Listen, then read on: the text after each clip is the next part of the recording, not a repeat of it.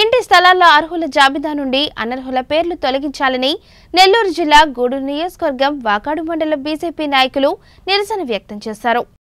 వాకాడు మండలం భారతీయ జనతా పార్టీ మన మండలంలో పంతొమ్మిది గ్రామ పంచాయతీలు ఉన్నాయి.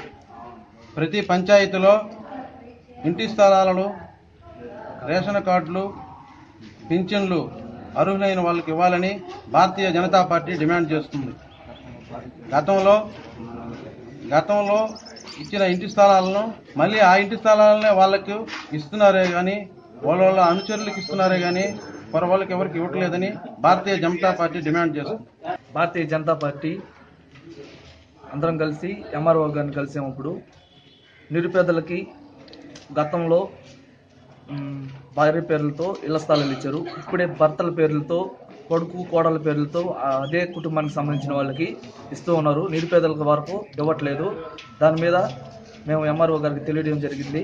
అలాగే గంగనపాలెం అనే గ్రామంలో గిరిజనులకు ఉండే స్థలాలను ఆక్రమించి ఇళ్ళ స్థలాలుగా ప్రకటన చేస్తున్నారు.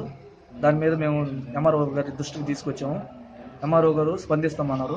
స్పందించకపోతే పేదలకు అండాదండగా మా భారతీయ జనతా పార్టీ చేదోడు వాదోడుగా ఉండి ముందుండి ఉద్యమం సాగిస్తామని చెప్తున్నాం.